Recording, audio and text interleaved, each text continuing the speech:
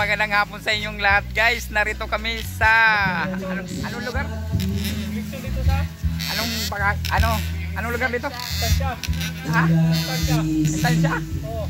Sa Barangay Estancia sa Sabaco Al Albay, guys. Andito kami naglilitson kami oh. Tingnan mo yung litson namin guys oh. So, lusa, nasunog yung gitna tapos yung ulo buhay pa.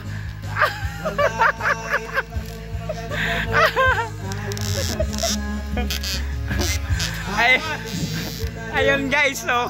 Nakakatuwa guys. Ayun guys oh. Mga hindi kami marunong maglitson. Ikot lang kami ng ito. Ikot. Tapos tingnan mo yung litson namin.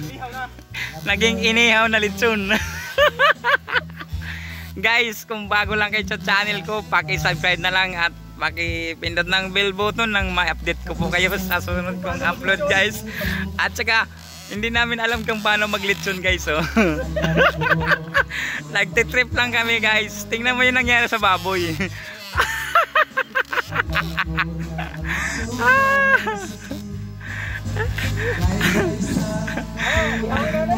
ah? Hindi. Hayaan mo lang. Anong ihawin? Ihaw na nga yan eh. Ayun guys, natut- natatawa ako guys sa nilitso namin. Tingnan mo. sunog na sunog yung ano, likod. Tapos yung ulo. Hilaw pa at saka yung paa.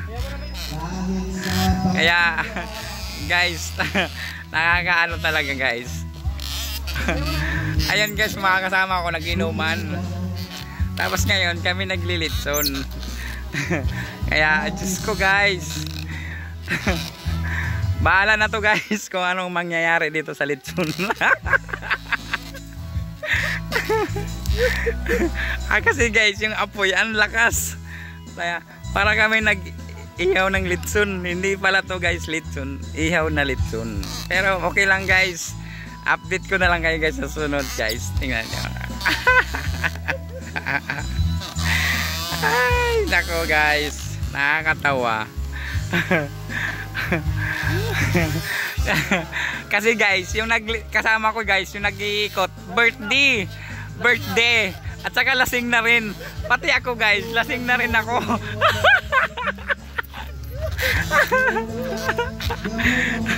Pareho kaming lasing. Anong nangyari sa litso namin? O, tingnan mo guys, oh. Kapakita ko sa inyo.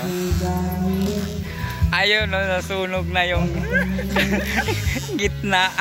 Tapos yung buntot. Hilaw pa. Hilaw pa. Pati yung ulo guys. Hilaw pa rin. Diyos ko guys. Kaya, ikot na lang kami ng ikot. Hanggang sa baka balang balang oras guys maluluto